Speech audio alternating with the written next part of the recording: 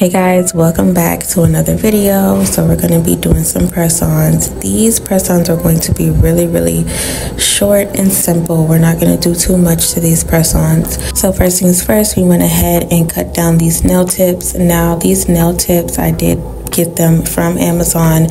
All of the products that I use will be linked to my Amazon storefront, and that link will be in the description box down below. So, what I'm going to do is I'm going to go ahead and cut down the nail tip to my liking. I'm going to be using this nail cutter. Now, this nail cutter, I actually purchased this from Shein, but of course, you guys can find this on Amazon. I will also link that on the Amazon storefront so you guys can purchase.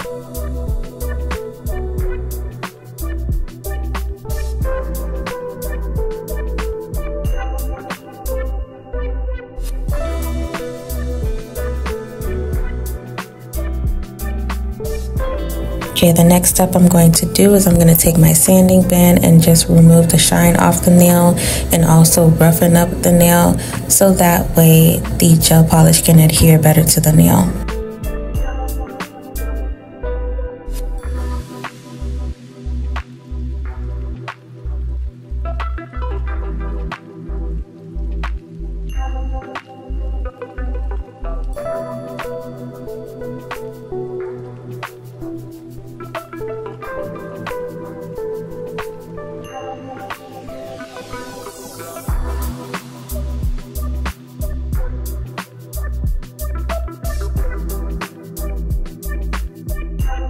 Alright, so that's what the nails are looking like so far. Next, I'm taking my base gel from the brand Beetles. I absolutely love this brand. So I'm just going to go ahead and apply one coat of base gel to all 10 nails.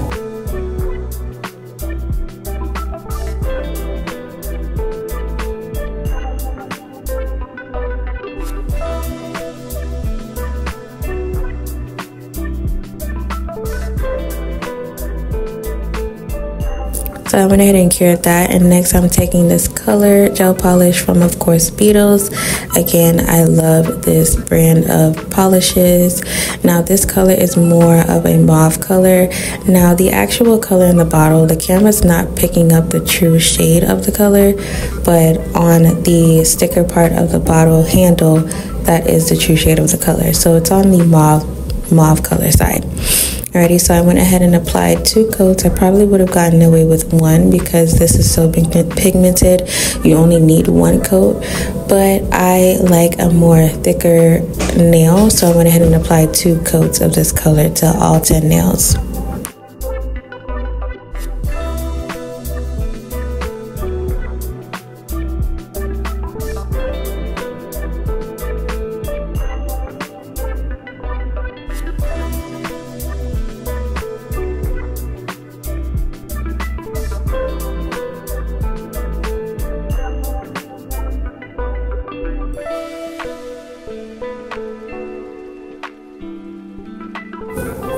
So this is what the nails are looking like after I applied the two coats and now I'm going to be taking this reflective glitter. Again, I did purchase this off of Amazon. It's so pretty, so reflective. Um, and I'm just going to go ahead and apply this on the tips of the nail and use this ombre um, brush to kind of fade it up towards the cuticle area of the nail. So it's going to be an ombre effect.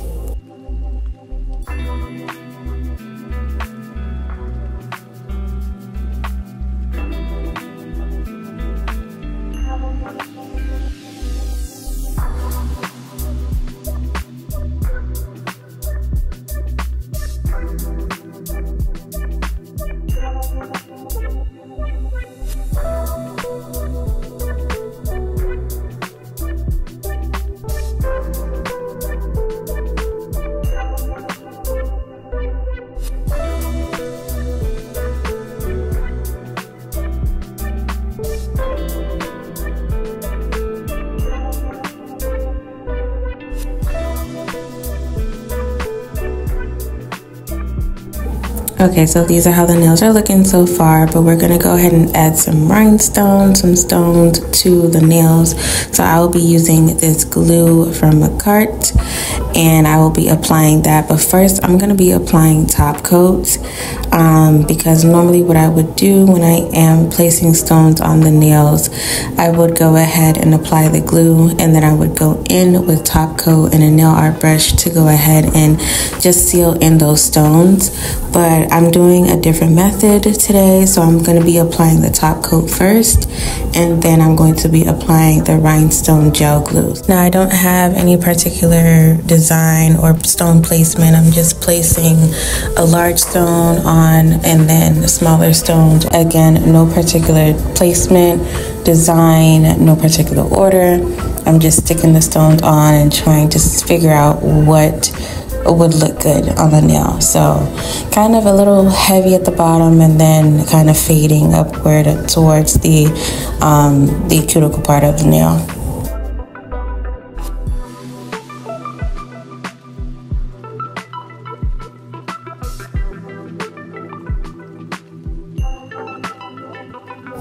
So again, I'm showing you guys one more time. I will be applying the top coat first and then I will be applying the gel glue where I am going to be um, applying the rhinestones.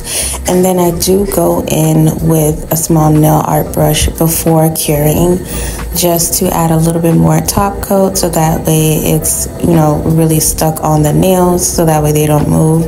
And then I go ahead and cure.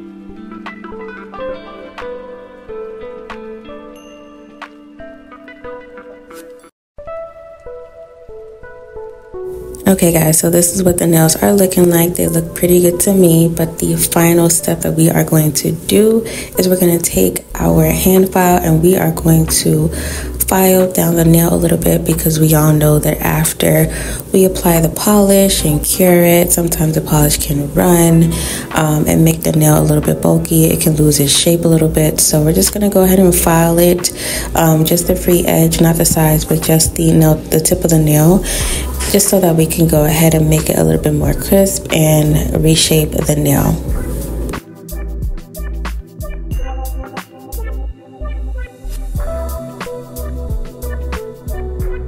Okay guys, and that is it. This is the finished product. These are how the nails are looking after I have filed them. I think that this set came out really, really cute. It's really simple, but it does have some bling to it. And this is how the nails are looking like on me. I didn't record a lot, but these are how they're looking. Make sure you guys like, comment, and subscribe to my channel. Always remember, of course, to stay beautiful. Love you guys. Bye.